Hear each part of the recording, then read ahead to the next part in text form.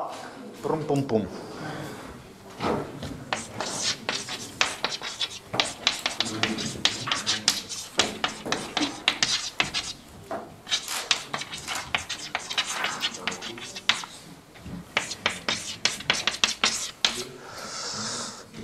Сьогодні розглядаємо о, перший опублікований, стандартизований, підкреслений. Ви смієтесь.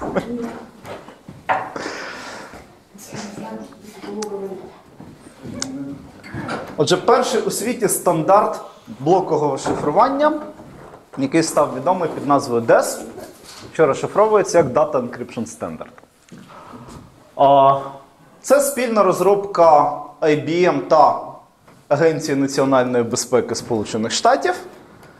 Там дуже потужний склад тих людей, які це все розробляли.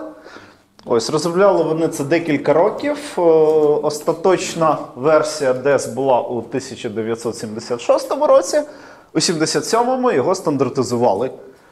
Ось, е, ну, стандартизацією займається організація, яка наразі називається NIST, там Національний інститут стандартизації Сполучених Штатів. Ну, це те, що треба пам'ятати, так? А, через певну неузгодженість між діями НІСТу та Агенції національної безпеки алгоритм був опублікований повністю.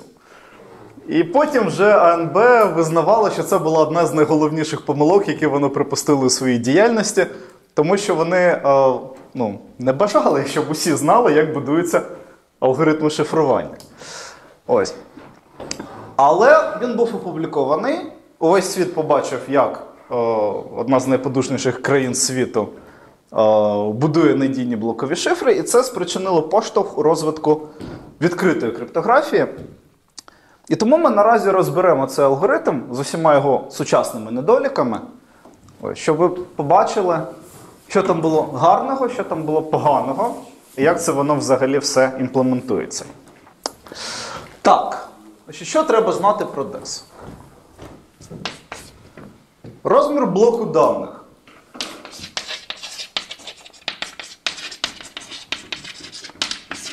Шістдесят чотири біти. Довжина ключа.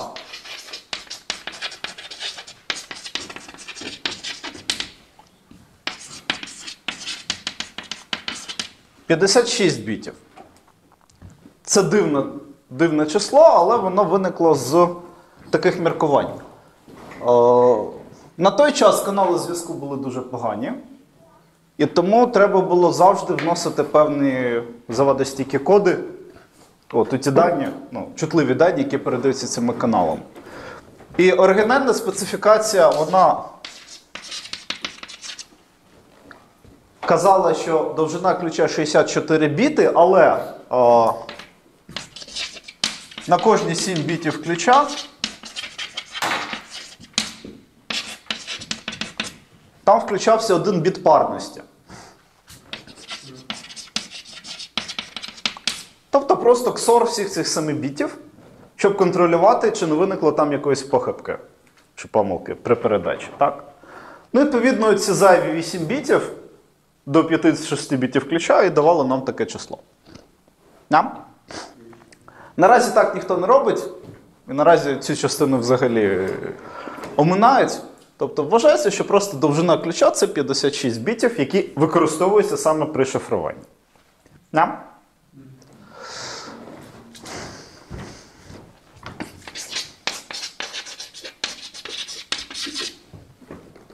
DES – це ітеративний блоковий шифр, що складається з 16 раундів. Ось. Значить, ці три параметри це зазвичай, якщо вам треба порівнювати якісь алгоритми шифрування, ну то довжина блоку, довжина ключа, скільки раундів виконує. Так. Структура DES. А.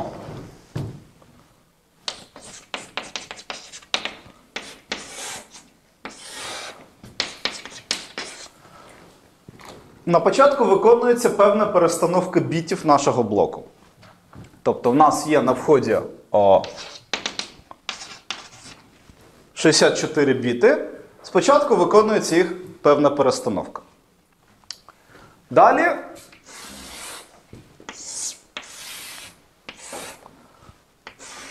Ну.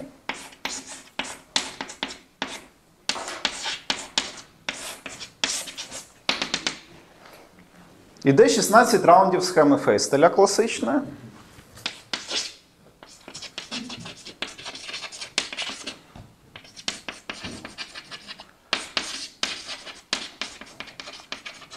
Власне, Хорст Фейстель був один з розробників алгоритму DES. Ось. І наприкінці.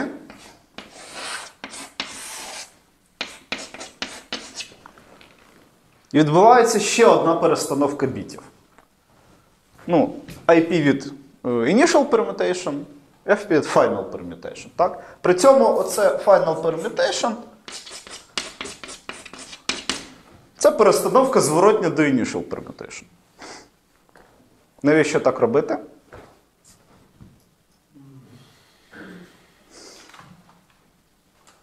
А ну, згадуємо, що було два тижні тому. Яка головна властивість схеми Фейстеля? Структурна. Конвертивність. Інволютивність.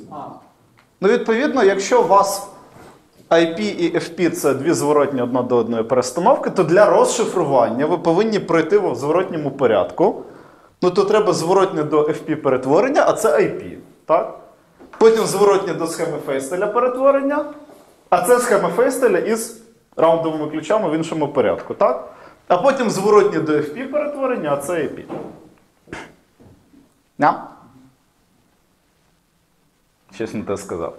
Спочатку зворотня до FP це IP, потім зворотня до IP це FP. Ось. Тобто побудована таким чином схема, вона зберігає властивість інволютивності.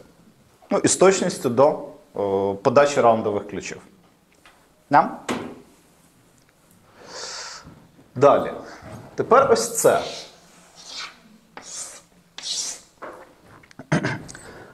Ну, це головне, що в цій схемі є, да? це раундова функція. Це функція 32 біта в 32 біта, яка працює ось таким чином.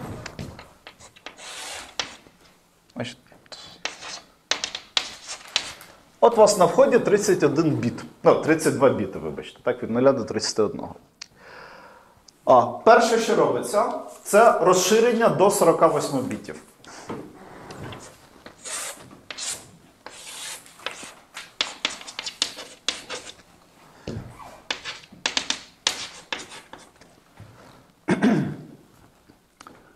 До цього розширення. Ну, я ще раз, я спочатку глобальну структуру, а потім буду уточнювати, що саме відбувається на кожному кроці. Так? Тобто тут спочатку просто йде розширення до 48 бітів. Потім до цих 48 бітів додається поточний раундовий ключ, який також повинен мати довжину 48 бітів. Що Після цього цей блок розбивається на шматки по 6 бітів.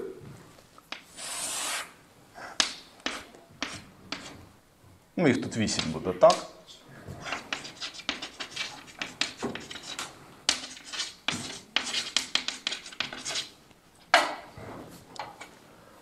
І кожен цей шматок пропускається через таблицю підстановки. Ну, я їх так умовно позначу.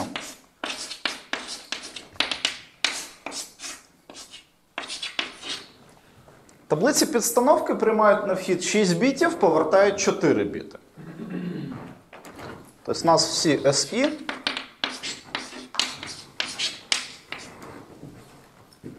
Ну, відповідно, на виході з цього знову маємо 32 біти. Ням? Ось. І нарешті.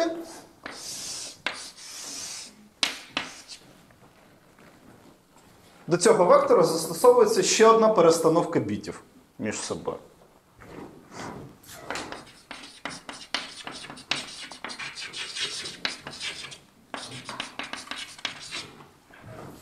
Ну, і все буде вихід.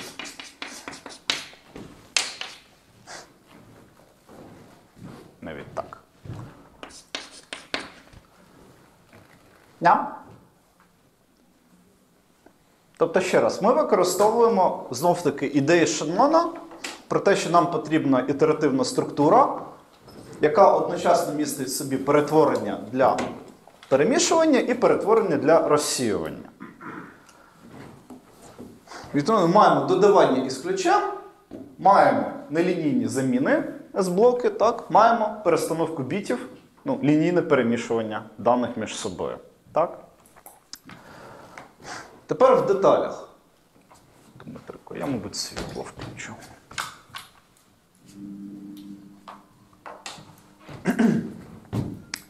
Значить, по частинах е, enhancement, та, розширення. Це просто дублювання певних бітів у нашому блоку. Відбувається приблизно таким чином.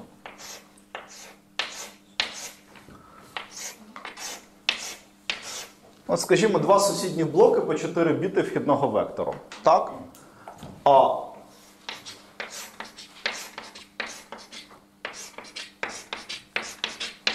вони йдуть безпосередньо, а потім ось цей ще копіюється сюди, а ось цей копіюється сюди. Відповідно, тут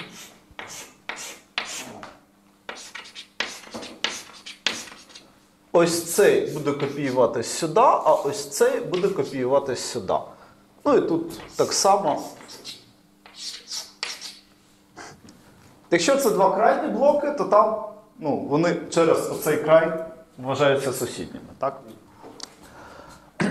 Тобто тут на початок насправді піде 31 біт, так? а тут на кінець піде нульовий біт при розширенні. Ось, відповідно, тут було 4 біти, а тут маєте вже 6.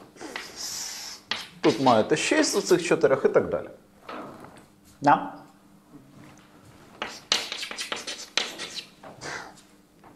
Ідея цього розширення була в тому, щоб е, ось ці 4-бітові частини е, додатково е, впливали одна на одну.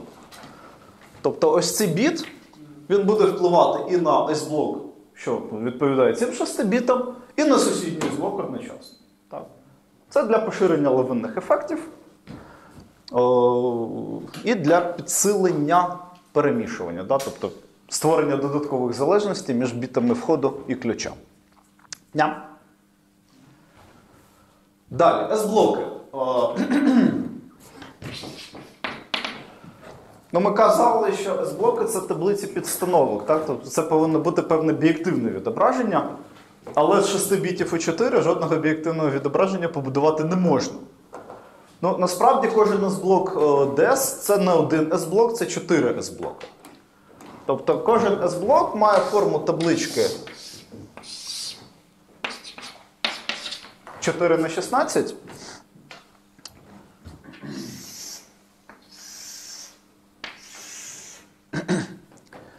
І у вас вхідний біт, о, вхідний вектор 6-бітний, так? О, ну, скажімо.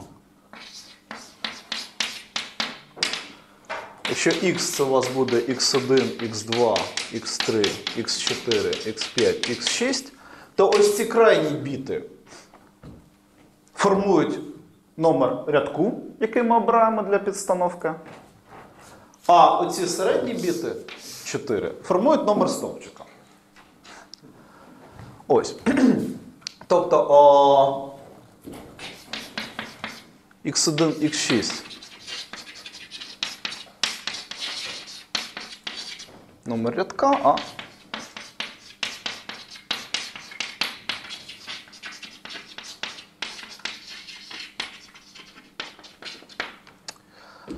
Тобто, фактично, о, знов таки, дивимось на це розширення, так? У вас номер таблиці підстановки, який буде обиратись, він залежить від двох сусідів та від бітів ключа. Тому що тут ще додавання із ключем є. Так? Ось. А ось ця середня частина це оригінальні 4 біта вашого блоку, знов таки після додавання з ключем. Вони, власне, є те значення, яке ми замінюємо. Так? За нашою таблицею замін. Yeah. Тобто тут о, розробники намагались ввести певну варіативність, так, що у вас о, на кожному кроці власне правила заміни змінювали в залежності від того, які дані оброблюються. Yeah. Питай. Вот вы говорите, что у вас 4 средних бита влияют, соответственно, на столбцы. То Yep. есть мы же на- на выходе хотим получить 4, то есть мы... Так. Ну, Я, о, просто, це. ну, я понимаю, как можно, зная четырех, э, четырехразрядное двоичное число, выбрать один из 16. А как мы выбираем 4? Нам же 4 надо. Или в чем я Так просто- ти обираєш одне 4-бітове значення. Вот одну Кожен клеточку- рядок це підстановка одну на. клеточку этой таблицы. И уже в Так. каждой клеточке содержатся правила подстановки. Все, Тобто тут о, одна клітинка. Це 4-бітовий вектор. Так? Кожен рядок, відповідно, формує певну підстановку на 4-бітових векторах. Ну, від 0 до 15. Ну, все. Ось. І кожен із блок містить 4 таких правила, оцих підстановки. І о, яке саме правило застосовувати, обирається через перші та останні біти вхідного вектору. Yeah? Ще питання? Ну, добре. Так, пі. О, перестановка бітів. Ну, знов таки. То відкрите і подивитесь, яка там перестановка бітів. Але е, вона формувалась, е, виходячи з такого критерію. Е, Значить, біти о, на виході з одного С-блоку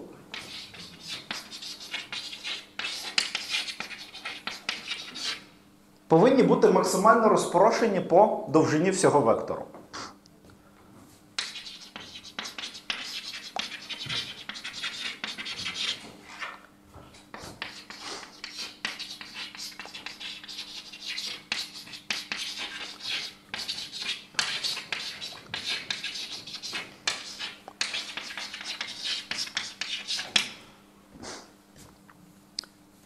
Знов таки, навіщо це робиться?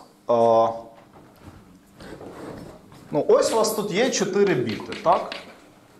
От після перестановки π, то перес- перестановка π побудована таким чином, щоб на наступному раунді, ну це насправді через раунд, коли ми знов підемо до обробки цього блоку, оці 4 біти е, потрапили у 4 різні з-блоки. Так? Тобто вони розпрошуються по різних тетрадах нашого блоку. Ось. А ще бажано так, щоб після цього розширення вони впливали не на 4 різні з-блоки, а на 6. Ну, більше вже не можна. Ось. Тобто перестановка π обирається таким чином, щоб лавинні ефекти цієї схеми були якомога вищими. Щоб вплив кожного біту. От, берете ви тут якийсь біт, змінюєте, так? Ось, після розширення він буде впливати або на один, або на два С-блоки. Ну, в залежності від того, був цей біт крайній у тетраді чи середній.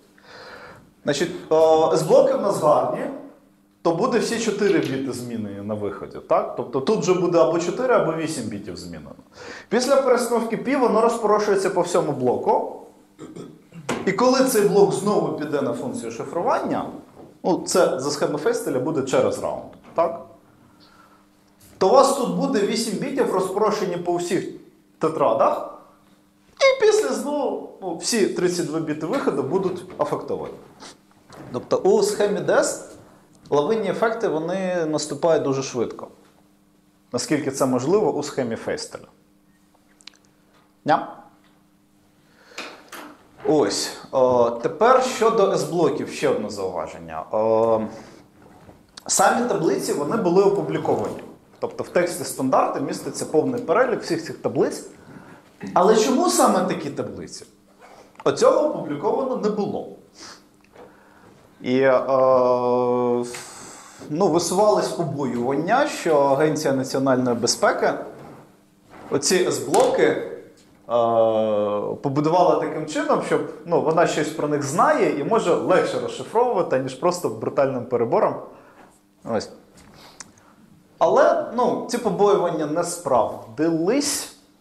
Ну, але ж невідомо, щоб вони справдились. Критерії відбору цих С-блоків вони були опубліковані десь на, на початку 90-х років. Їх там півтора десятки. Ось. І. е, Ну, знов таки, стан розвитку криптографії 70-х років. Е, Всі ці критерії вони не мали на увазі певних атак. Тобто, о, ну, атака, там, якщо у вас блок має нерухомі точки, то там є одразу атака. Ні. Вони формулювались із е, критеріїв, що якщо оця структурна властивість у нас існує, так, нерухомі точки, цикли довжини 2, е, там певне проходження різниць між входами і так само. То, можливо, хтось коли-небудь зможе це використати для побудови атаки на ДЕС. І от це ну, заперечувалось. Так? Ну і ці побоювання насправді виявились коректними, тому що о, знов таки один з двох найпотужніших методів криптоаналізу блокових шифрів, та, диференціальний криптоаналіз, який опублікували саме в 91-му році. Ось. Він досліджує проходження різниць між входами, а не самих входів. Ось. І виявилося, що DES стійкий до цього методу криптоаналізу, тому що розробники DES у свої 70-ті роки вони про цей метод знали, але нікому про це не сказали. Відповідно, вони підбирали ці таблиці підстановок таким чином, щоб якомога ускладнити такий метод криптоаналізу. Ось. Тобто тут вони молодці. А скажімо, лінійний криптоаналіз, який був опублікований у 92-му році, він для розробників DES був невідомий.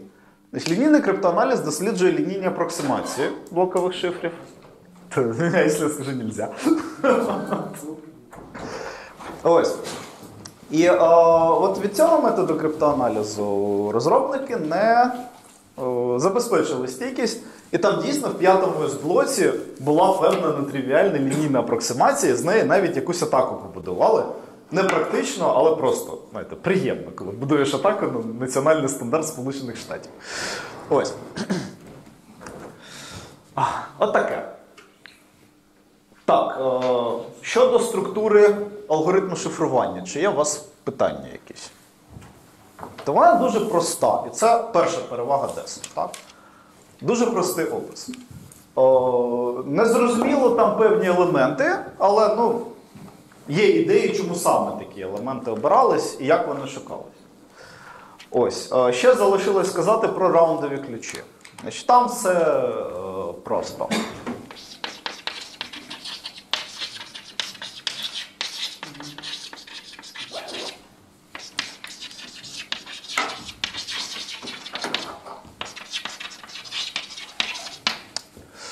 Так. Так, котики, вам це не потрібно? Треба дошку готувати. Ай. Значить, у нас ключ 56 бітів, а потрібно на кожному раунді 48 бітів. О, значить, що там робиться? О, оцей ключ. Ключ шифрування К від 0 там, до 55. Він ділиться навпіл на дві частини по 28 біт. Ось. І на кожному кроці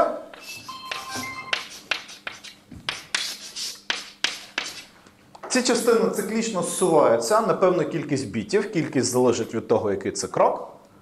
Ось.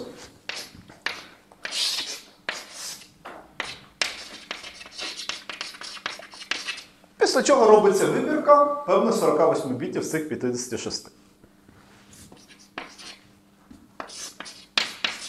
Одержуєте ключ К1.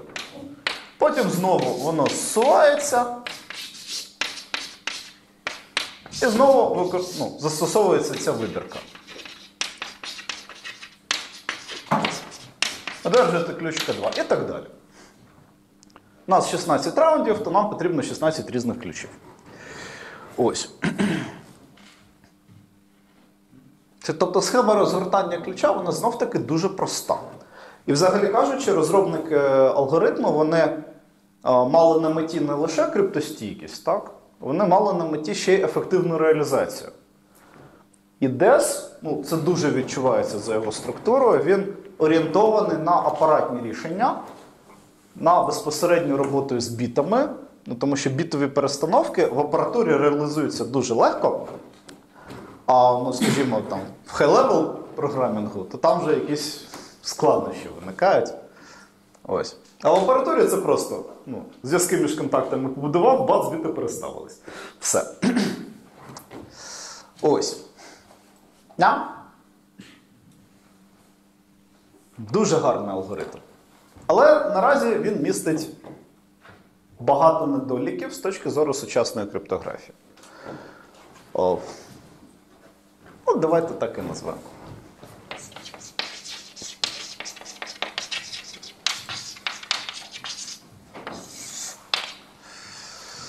Так, о, з чого я там хотів почати? Так, ну, перший очевидний недолік. Ви його навіть самі можете вже сформулювати. Довжина ключа 56 бітів. Зараз можна там за певну доволі скромну суму купити в е, кло- ну, хмарний сервак, так, і він буде вам перебирати за приємний час таку величину. Тобто 56 бітів ключа це дуже мало наразі. Це не вважається криптографічно стійким означенням.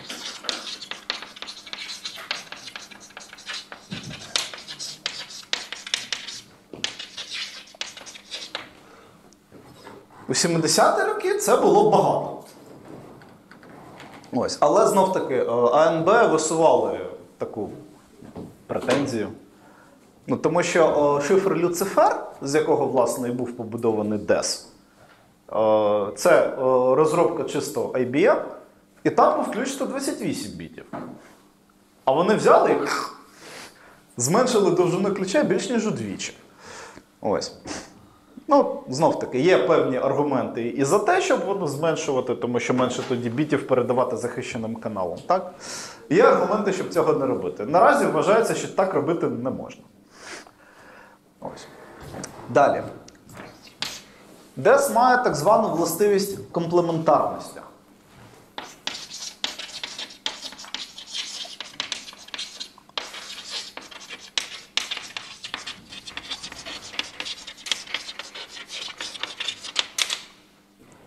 Яка виражається ось таким чином. Якщо у вас Y це шифротекст від блоку X на ключі K, і ви зміните значення усіх бітів блоку X і усіх бітів блоку K,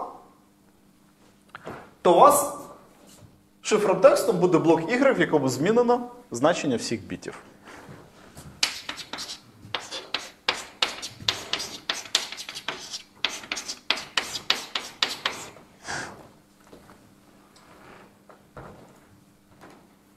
Тобто берете блок X, берете ключ K. Шифруєте, одержуєте блок Y. Берете блок не X, так? зміна всіх значень бітів на протилежний. Берете ключ не K, змінюєте значення на протилежний. Шифруєте, одержуєте блок не Y. І що це нам дозволяє робити? Ну, це дозволяє зменшити перебір ключа удвічі.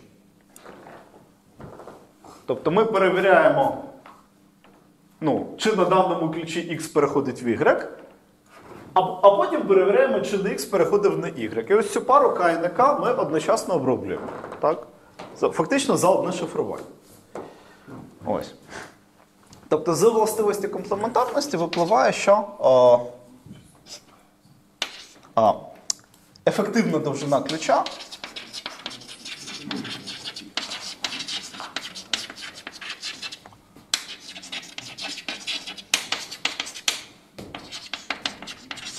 буде не 56, а 55 бітів, тому що 2 в 55 нам потрібно перебрати, фактично. Да? Так. Ну, чому це так, доведіть самостійно. Я цю задачу навіть у вступній задачі магістратуру поставив.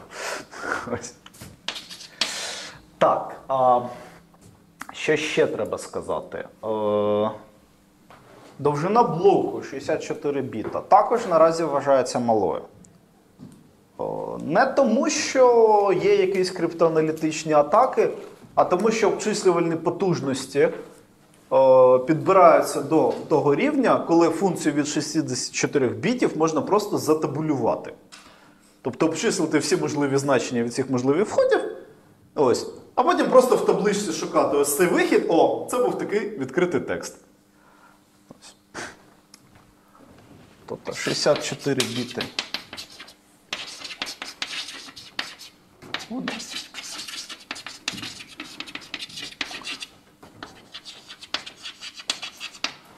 Наразі алгоритми шифрування, що мають е, блоку 64 біти, вони вже відходять у клас е, так званих алгоритмів легкої криптографії для пристроїв із обмеженими обчислювальними ресурсами. А сучасні, ну, універсальні алгоритми шифрування, так, вони вже майже всі перейшли на блок 128 бітів.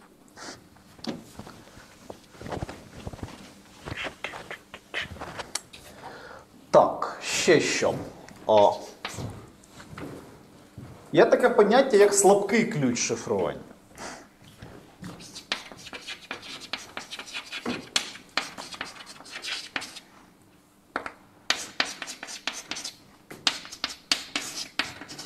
Чи слабкий ключ це о, такий ключ, в якому операції шифрування і розшифрування співпадають. Якщо в нас шифр є, це схема Фейстеля, то який ключ буде вважатись слабким? Ну, в якому послідовність раундових ключів буде паліндром. Ви її переставляєте для розшифрування, а це така сама послідовність. Так. А, є а, суміжне поняття це напівслабкі ключі.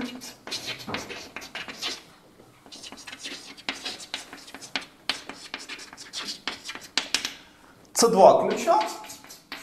Так що шифрування на одному співпадає із розшифруванням на іншому.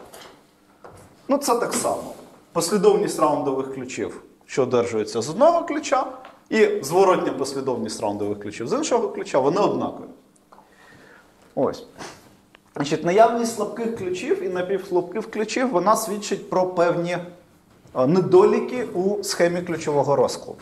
Тому що якщо ви впадете на слабкий ключ, то, скажімо, ну, у вас є пристрій, в якому цей ключ зашито. так? Ви ключа не знаєте, але ви можете розшифровувати як. Просто шифруєте ще раз. І це погано для нас, так? Так само і з напівслабкими ключами. Так ось а, має 4 слабкі ключі.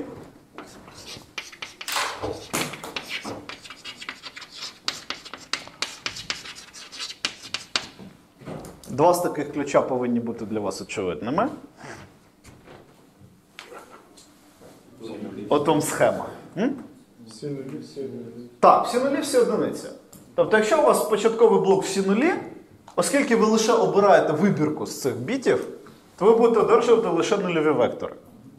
Так само, якщо у вас початковий блок з одних одиниць.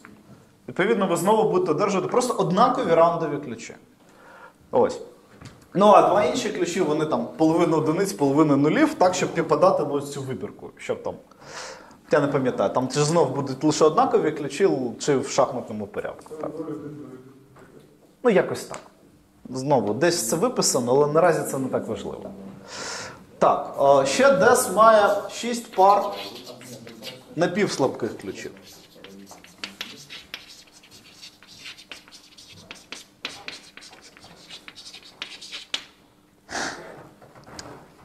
Погано це чи не погано? Ну, імовірність, що ви згенеруєте випадковий ключ і потрапите у слабкий чи напівслабкий, це буде 12 плюс 4. 16 поділити на 2 в 56. Ну, 2 в мінус 54. Це дуже мале число, так? Більш того, ці ключі вони відомі. Тобто, якщо це вже є дуже критичним, то просто під час генерації ключа перевіримо, чи не попали ми в ці 12 ключів. Якщо потрапили, то ну, генеруємо наново. Так? Але сам факт, що в нас схема шифрування дозволяє такі слабкості, це ж ну, це відомі слабкі ключі і відомі напівслабкі ключі. Можливо, ще й невідомі. І ми про це нічого не знаємо. Ось, тобто, о, знов таки, наявність свідчить про певні о, невдалі рішення, так? Певні уразливості у схемі вироблення раундових ключів. І якщо знов таки будете дивитись е, на сучасні алгоритми блокового шифрування, там схеми розгортання ключів вони дуже складні. От щоб уникнути ось таких випадків. Ну, ми ще будемо їх розглядати навіть сьогодні трошечки. Так. А... Щось забув, щось забув, щось забув.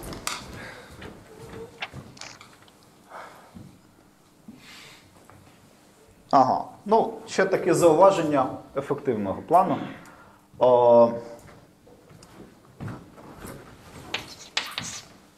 Використання небієктивних S-блоків наразі вважається поганою практикою.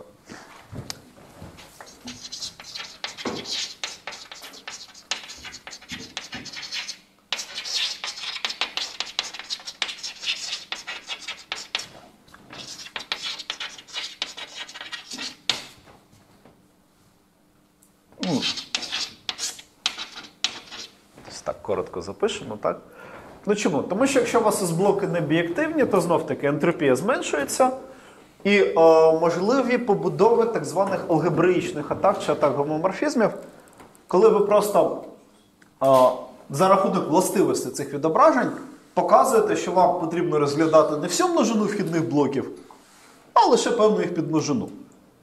Ось. Множину можливих прообразів. Так? Ось. І це стосується не лише входу на алгоритм шифрування, а й проміжних текстів між нього. Так? Якщо у вас перетворення не бієктивне, то ви зменшуєте можливу кількість проміжних шифротекстів. І, можливо, десь там вони зменшаться до такого стану, що можна буде їх перебрати. Ось.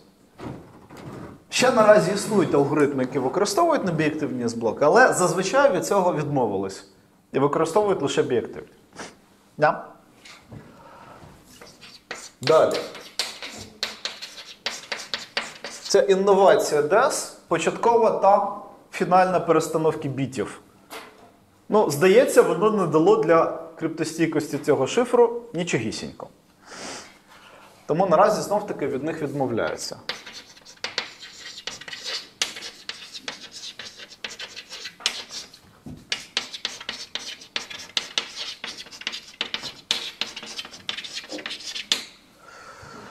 Ось. І о, останнє. О, перестановки бітів, ну, зокрема, окрім AP і AFP, це ще перестановка P у раунді безпосередньо. О, це дуже ефективна штука для апаратної реалізації, але наразі о, це не найкращий вибір лінійного о, розсіюючого перетворення у блоковому шифрі.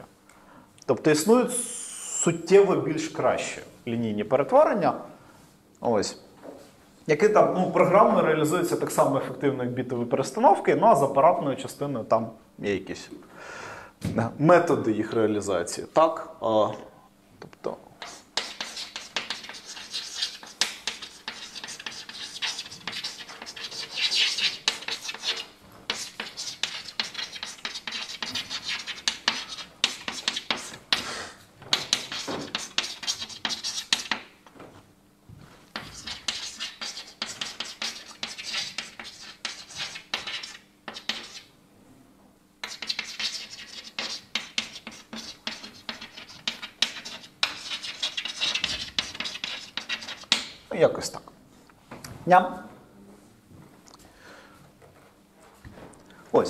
Все, що я тут сказав, це результати дослідження ДЕС ну, протягом 20 років після його публікації. Так? За ці 20 років алгоритм, про який уряд Сполучених Штатів своєю репутацією каже, що він є надійним, він розповсюдився по всьому світу. Виникло безліч ну, просто девайсів, безліч програмних е, рішень, е, які використовують DES. І тому, коли вже у 92-му році стало зрозуміло, що DES потрібно міняти, тому що у 92-му році вже опублікували проєкт е, машини. Там щось е, 200 тисяч доларів на розробку, 300 тисяч доларів на реалізацію, але вона за добу знаходить перебором ключ DES. Ось. Це у 92-му році, нагадую. Це, ну, вас тоді ще не було. а Ось. Тоді найкращим потужним ну, комп'ютером для користувачів був IBM 286. Ось. 12 МГц. Це після розгону, а так 8. Ось. Тобто, ну і, ну вже такі проекти були. І е, ну, у 92-му DES ще подовжили. У, NIST практика кожні 5 років переглядати всі стандарти. Ось. От у 92-му році був е, наступний від- ну, виток переглядання стандарту DES, тоді його ще подовжили, а в 97-му відмінили. Тобто DES е, виключено е, як стандарт е, для загального користування, як алгоритм шифрування для загального користування, але зараз подивимось, він досі використовується дуже широко. Ось. А в 2000 році прийняли АЕС. Новий стандарт шифрування, про який ми з вами поговоримо- у п'ятницю, мабуть. Так. так. Але ж безліч реалізацій. Чи можна їх якось врятувати? Можна. І це намагались зробити ну, двома десятками різних способів, мабуть, всяких алгоритмів. О, ну,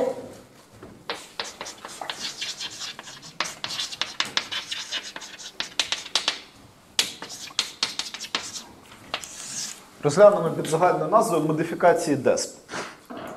Ми розглянемо три алгоритми, тому що вони дуже показові. О, перша.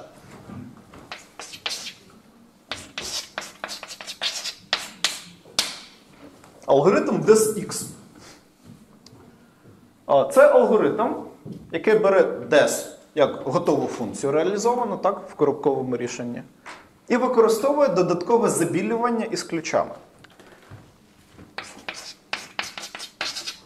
Тобто DESX від ключа K, K1 та K2. Це алгоритм DES на ключі K. Вхідні дані замішуються із окремим ключем К1. На виході замішуємо із окремим ключем К2. Таким чином, у нас ключі е, К1 і К2 повинні мати довжину 64 біти. Ось.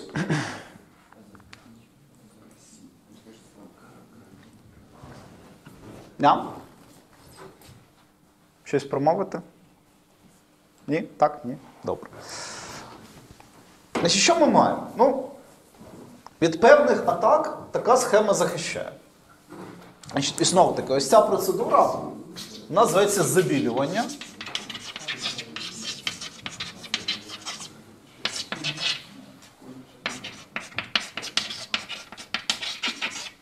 Whitening. Е, І суть в тому, що ми перетворимо вхідні дані у білий шум. Якщо в нас ключ К1 випадковий, то ви його ксорите з довільними даними, одержите випадкові дані. На цьому шифр одноразового блокноту побудовано. Так? Ось. Тут ми забілюємо і вхід, і вихід. Щоб що навколо. Потім е, виявилося, що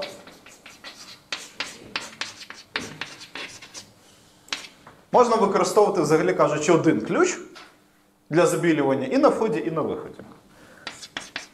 Тобто схема DESX із двома ключами. Буде DES X плюс K1 плюс K1. Ось. Значить, знов таки, потужність ключового простору збільшується. Якщо ви використаєте два ключа, то буде 56 плюс 64 120 бітів, так? Якщо три ключа, то ще плюс 64, 184 біти. Тобто брутфорсом така схема не ламається. Але. Ні, ще перед але. Так?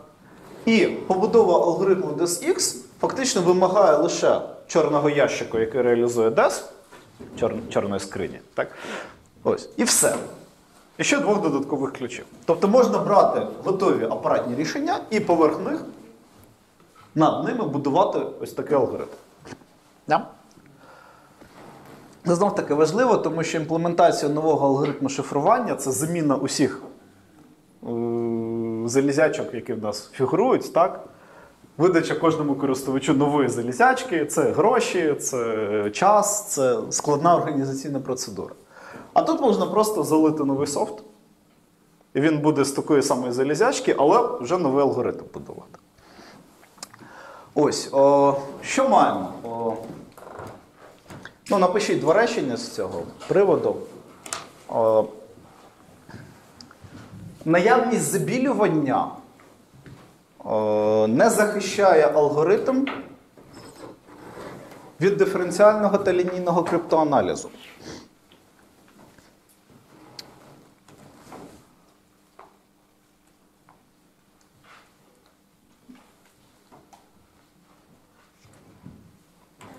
Хоча трохи ускладнює ці два методи.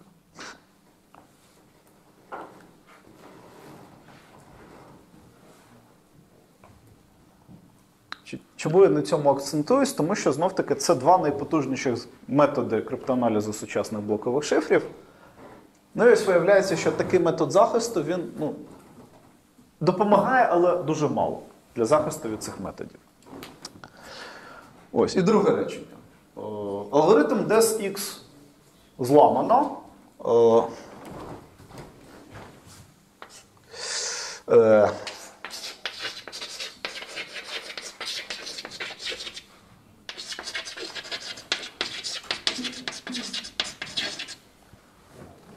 Так звана розширена слайд-атака. Метод слайд-атак він шукає самоподібності в алгоритмі шифрування. Для ітеративних шифрів це природній метод, тому що всі раунди однакові і відрізняються лише ключами. Так? Ось. Так ось побудували слайд-атаку на алгоритм DESX складністю. Щось там приблизно 2,88 операції.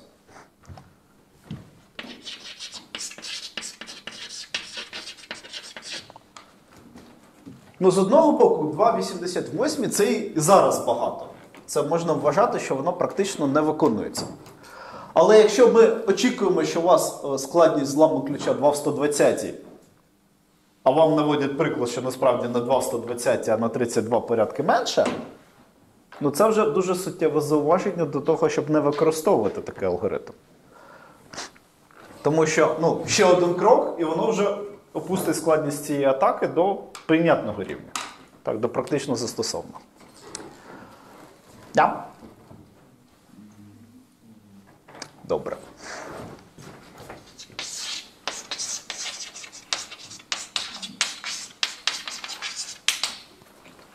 DES.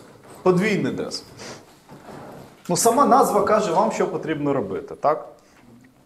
Якщо в нас одне, одне шифрування десом слабке, ну давайте робити два шифрування десом. Але трошки хитре.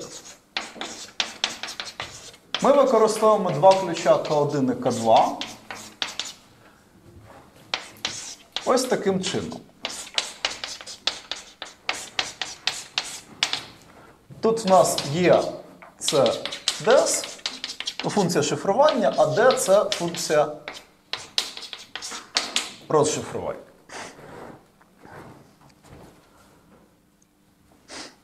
Чому запропонували саме так? Е, тому що для того, щоб розшифрувати цю функцію, так, треба виконати ці операції в зворотньому порядку. Ну, D перетворюється на Є, Є перетворюється на D, вам просто ключі потрібно поміняти. Так? Тобто функція 2DS також є інволютивною ну, з точністю до порядку раундових ключів. Yeah. Ось. Значить, маємо два ключа по 56 бітів. І того очікуємо складність 2 в 112. Це велике число. Ну,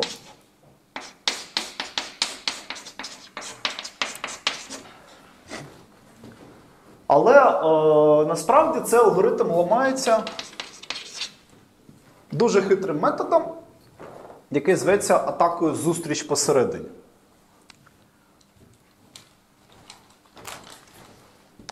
Так, мене здається. Я приходив із крейди. Ні, не приходив погано. Так.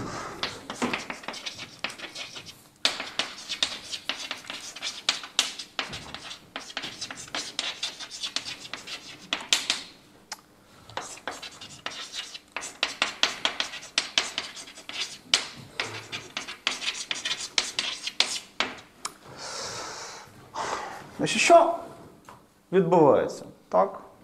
Ну, нехай у вас Y це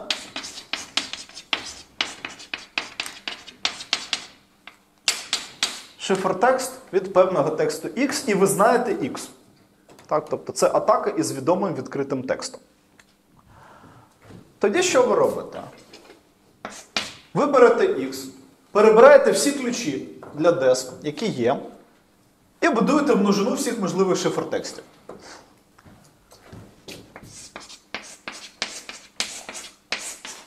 І тут певна множина. Ми обчислюємо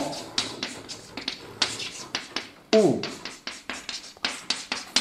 Це є k від x. Так, і ось ось тут є якась множина U. Ну, навіть так. Так. Ви берете y. І шифруєте його всіма можливими ключами DES.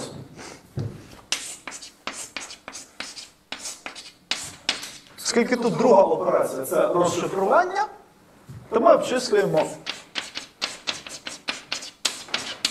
зворотню операцію, а це буде шифрування. Так? І одержуєте тут певну множину значень V. А тепер шукаєте в цих двох множинах один спільний елемент. І якщо виявляється, що ось це U і ось це V це однакові, то ось вам пара ключів, яка переводить X у Y. Алгоритмом 2D. Ням? Яка складність цієї атаки? Так, ну ще раз, ідею. Ну, вона очевидна. Ну, очевидно. Добре. Ну, питай. Э, вот, ну, допустим, мы строим самое первое, строим эту левую штучку. Yep. То есть у нас, э, ну, перебор мы почему осуществляем? X-то нам неизвестен, то есть, допустим, мы перебор- Чому? X нам відомий, я це сказав. Я просто... Це атака з відкритим текстом. З відомим відкритим текстом. Так? Ось. Значить, складність.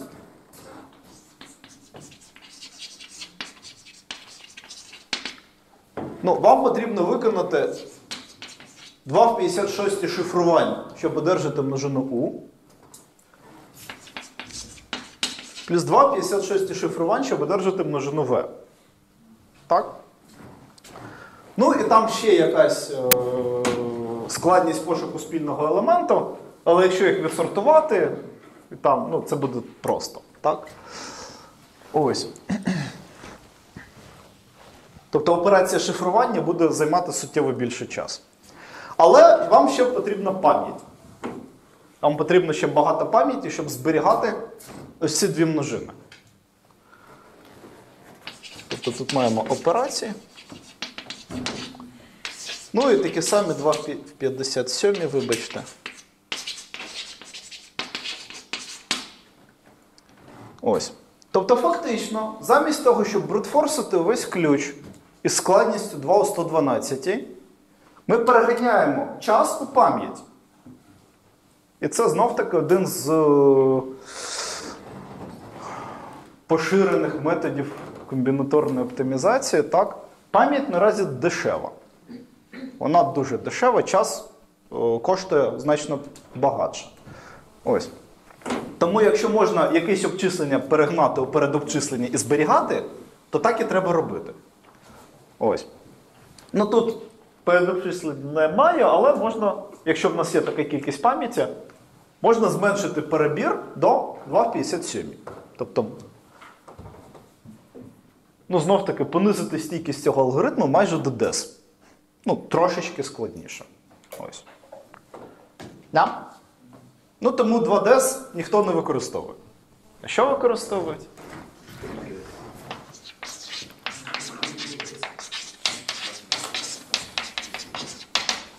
І Triple DES. Значить, е, Triple DES існує у двох варіантах. Е, Канонічний варіант із трьома ключами. Це коли ви шифруєте результат розшифрування, результат шифрування нашого вхідного блоку. Ось. І є варіант Triple DES із двома ключами. Коли ви шифруєте на ключі К1, результат розшифрування на ключі К2, результат шифрування на ключі К1 нашого блоку X. Так, е, в Triple DES із трьома ключами всі три ключі різні. Тут перший і останній співпадають. Ось. О... Ну, що можна сказати про цей алгоритм? Ну, довжина ключа буде або 112 бітів, або ще 112 плюс 56. Так? Ну, якщо в нас три ключа. Але а, атака зустріч посередині буде працювати і в цьому випадку. Але в нас ось тут, скажімо, так, це буде вже не просто операція шифрування. а Це буде, ну, скажімо, або ось цей фрагмент, так, шифрування з розшифруванням, або ось цей фрагмент. Так. Тому у вас е, одна з цих двох частин буде вимагати такі два 112 перебору. Тому з точки зору криптографічної стійкості використовувати три різні ключа немає сенсу, достатньо двох. В цьому випадку складність брутфорсу і складність атаки зустріч посередині буде однаковою. Але ця атака ще буде пам'яті дофіга вимагати. Так?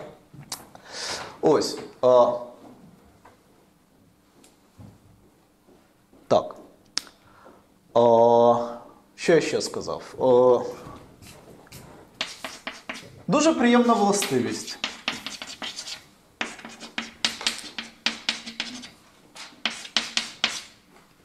Якщо подати три однакові ключа, то що ми одержимо? Десь. Так, звичайний дис.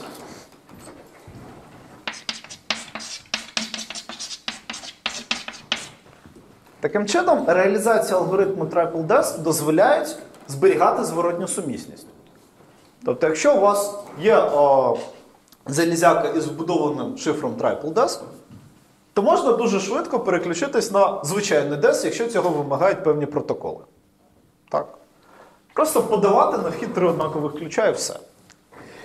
Так, і о, що ще треба сказати? О, ну, знов таки, не дивлячись на всі недоліки DES, не дивлячись на те, що наразі ну, дуже багато зауважень до його структури, Triple DES і наразі широко розповсюджений у embedded девайсах, у пристроях із обмеженими обчислювальними ресурсами, там, у тих самих смарт-картках, внутрішніх протоколах для шифрування внутрішньої інформації або для шифрування трафіку від е, картки до драйвера, скажімо так. Тому що ці алгоритми дуже ефективні для реалізації саме у пристроях, і існує дуже велика кількість пристроїв із вбудованим Triple DES.